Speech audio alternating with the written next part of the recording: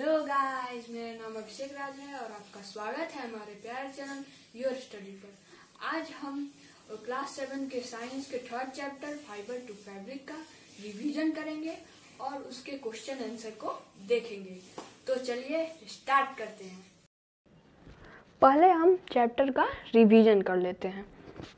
Wool comes from the fleece of sheep, goat, yak and some other animals ऊल कहाँ से आता है? तो सीप के, गोट के, याक के और कुछ अन्य जानवरों के फ्लीस से आता है, यानी कि हेयरी स्किन से आता है। दूसरा है why does the wool yielding animal bear hair on their body the wool yielding animals bear hair on their body because hair trap a lot of air and air is a poor conductor of heat. So, hair keeps this animal warm. जो wool देने वाले जानवर होते हैं, वह अपने शरीर पर बाल इसलिए रखते हैं क्योंकि बाल हवा को ट्रैप करता है। और हवा क्या है? हीट का पुअर कंडक्टर है। इसलिए हेयर क्या करता है? उन जानवरों को गर्म रखता है वार्म रखता है। Wool wool is derive from hairy fibre wool कहाँ से आता है? तो हेरी फाइबर से प्राप्त होता है। और चौथा है write the types of fibres that form the fleece of sheep मतलब फाइबर्स के प्रकार बताने हैं।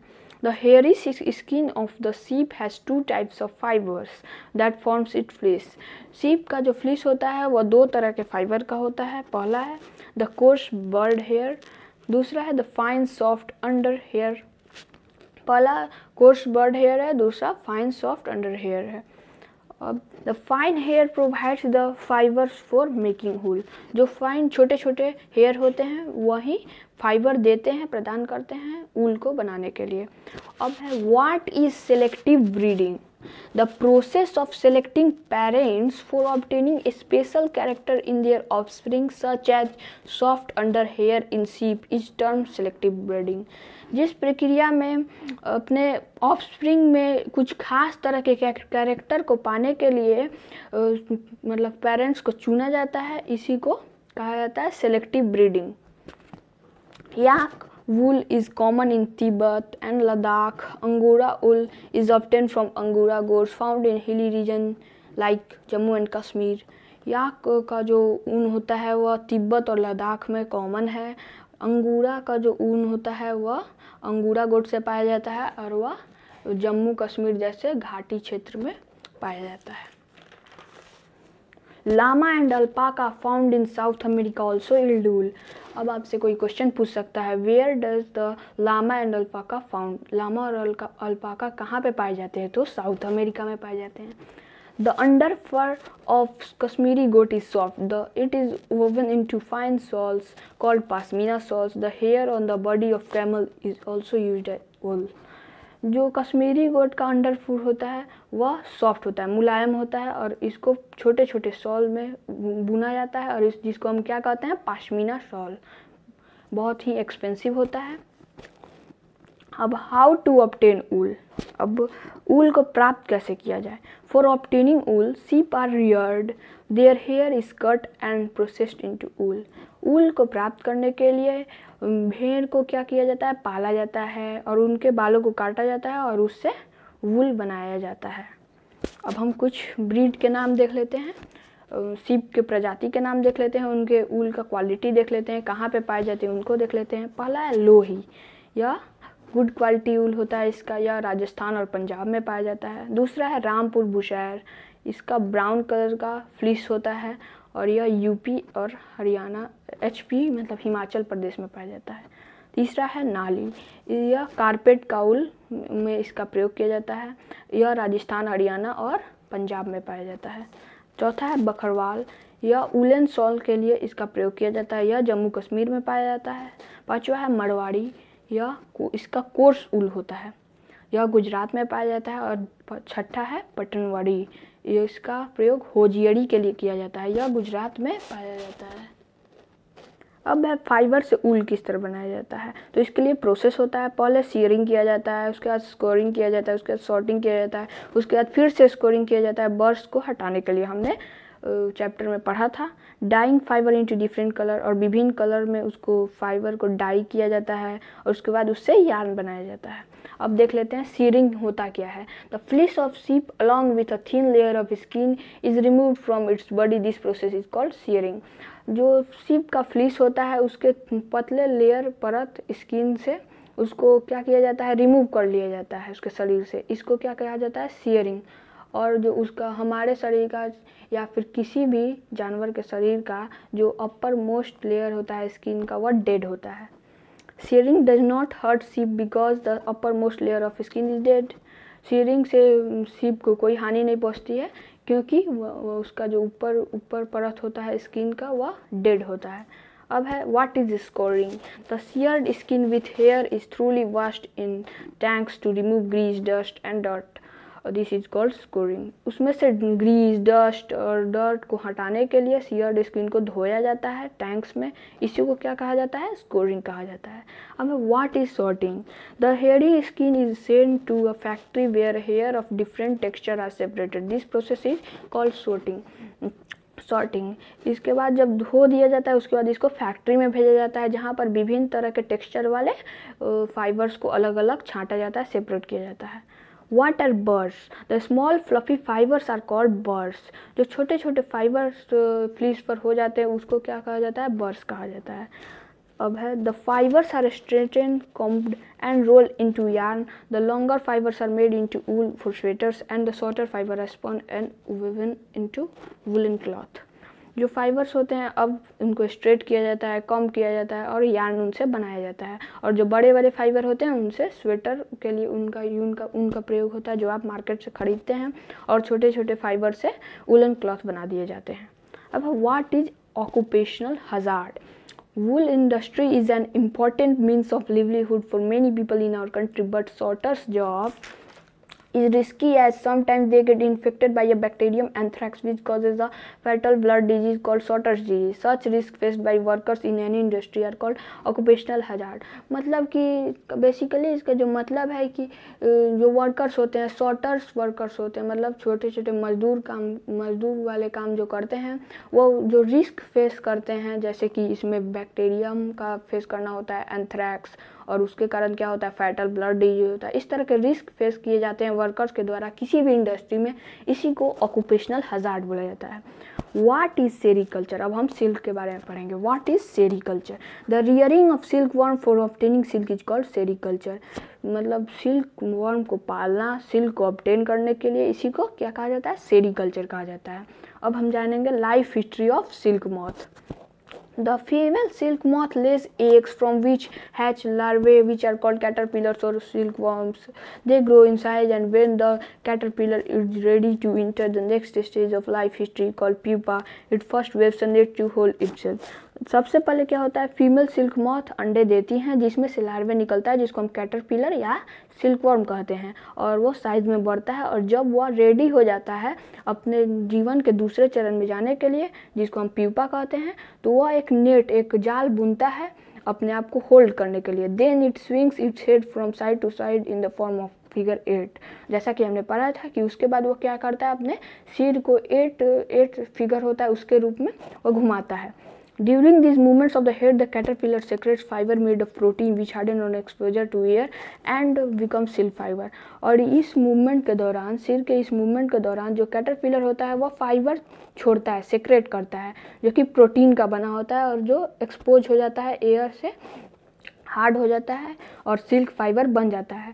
Soon the caterpillar completely cover itself by silk fibre and turn into pupa और बाद में क्या होता है? कैटरपिलर अपने आप को पूरी तरह सिल्क फाइबर से ढक लेता है और प्यूपा में बदल जाता है। This covering is known as cocoon और यही कवरिंग को क्या कहा जाता है? कोकुन कहा जाता है। Pupa becomes moth inside the cocoon और इस कोकुन के अंदर प्यूपा मोथ बनता है। Silk fibre are use for weaving silk cloth और सिल्क फाइबर का प्रयोग किया जाता है सिल्क क्लॉथ को बुनने के लिए। और आपसे ये भी क्वेश्चन पूछा जा सकता है कि कहाँ पर कोकुन मतलब प्यूपा मोथ में बदलता है? तो कोकुन के अंदर inside the cocoon the silk fibre is obtain from the cocoon of the silk moth silk fibre कहाँ से प्राप्त किया जाता है? तो सिल्क मॉथ के कोकुन से प्राप्त किया जाता है। सिल्क फाइबर के एग्ज़ाम्पल देख लेते हैं। Tasar silk, muga silk, kosa silk, mulberry silk. इसमें से जब सबसे कॉमन कौन है? मलबेरी सिल्क कॉमन है। For from cocoon to silk अब सिल्क से कोकुन किस तरह बनाया जाता है?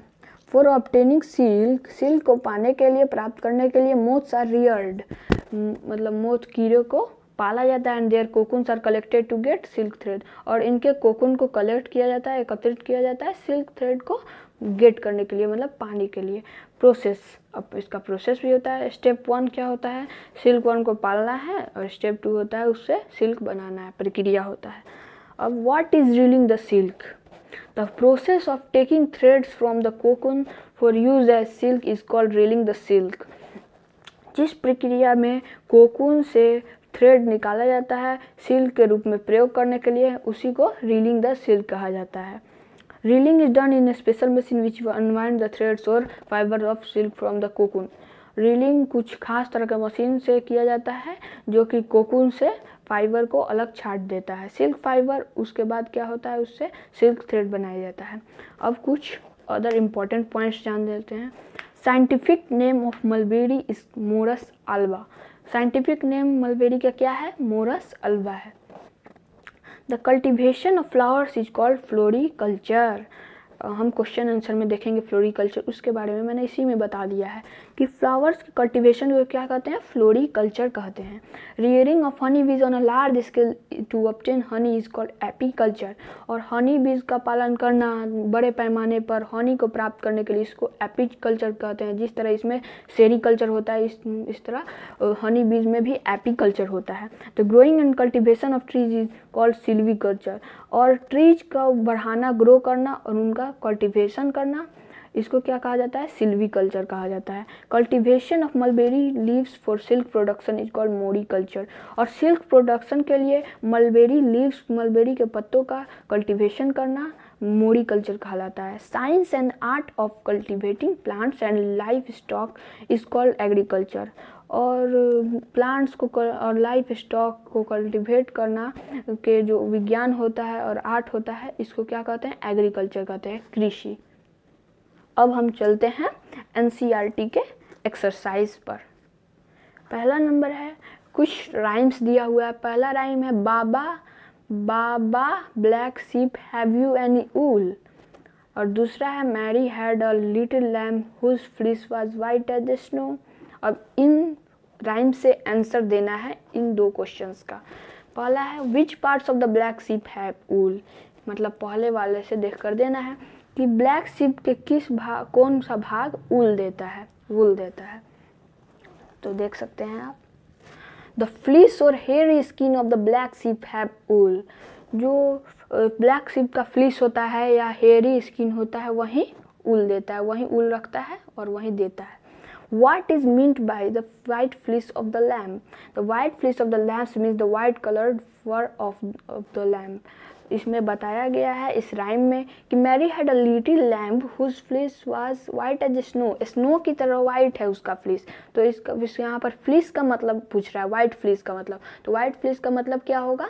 White coloured fur of the lamb देख सकते हैं। अब हम एमसीक्यू देख सकते हैं। The silk worm is a पहला है caterpillar larva choose the correct option तो इसमें होगा both A B silkworm caterpillar भी है और लार्वा भी है।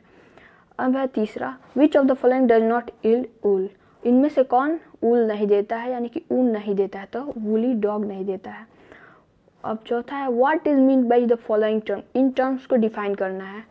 पहला है rearing it means taking care of herds of animal which include feeding breeding grazing etcetera इसका मतलब होता है कि जानवरों के समूह का देखभाल रखना, जिसमें उनको खाना खिलाना हो गया ब्रीडिंग हो गया, उनका चराना हो गया।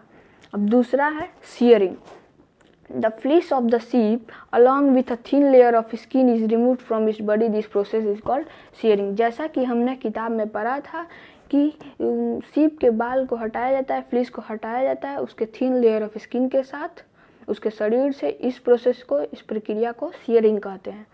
अब है तीसरा sericulture. The rearing of silk worm on a large scale to obtain silk is called sericulture. Silk worm का पालन कर मतलब पालना बड़े पैमाने पर सिल्क को ऑप्टेन करने के लिए इसी को सेरी कल्चर कहा जाता है। अब बोल रहा है, पांचवा नंबर में given below is the sequence of steps in the processing of wool which are the missing steps मतलब इसमें सीक्वेंस दिया है, प्रक्रिया का कि सिल्क सॉरी ऊल से ऊल का जो प्रक्रिया होता है ऊल को प्राप्त करने का उसको दिया हुआ है और कुछ मिसिंग स्टेप्स दे दिया है। उसी को हमको भरना है। तो पहले सीयरिंग होता है, यानी कि पहले काट लिया जाता है फ्लिस को, उसके बाद स्कोरिंग किया जाता है धोआ जाता है, उसके बाद सॉर्टिंग मतलब छांटा जाता है अलग अलग टेक्सचर वाले को। उसके बाद बर्श पिकिंग मतलब बर्श को चुनक के हटाया जाता है। उसके बाद विभिन्न कलरों में डाई किया जाता है, यानी कि डाइंग उसके बाद रोलिंग यानी कि स्ट्रेंथ करके उसको रोल किया जाता है यान बनाया जाता है। अब है छठा क्वेश्चन है make sketches of the two stages in the life history of the silk moth which are directly related to the production of silk production of silk से जो directly related है life history का silk moth का life history का जो दो stage है उसके उसका sketch बनाइए तो मैंने बनाया है The two stages in the life history of the silk moth related to the production of silk are caterpillar spinning cocoon around itself and transformation of the caterpillar into pupa. जो दो stages हैं life history के silk moth के जो कि production of silk से related है वो है कि कैटरपिलर जब कोकून को अपने चारों ओर स्पिन करता है बुनता है और दूसरा है जब कैटरपिलर प्यूपा में ट्रांसफॉर्म होता है यानी कि बदलता है तो इसका मैंने स्केच भी बनाया है देख सकते हैं आप। ये कोकुन है और ये कोकुन विथ डेवलपिंग मॉथ ये मौत बन रहा है, देख सकते हैं आप। और हमारे बुक में भी दिया हुआ है, आप बना सकते हैं। ये दो पिक्चर आपको बनाने होंगे, मैंने भी यहीं से बनाया है।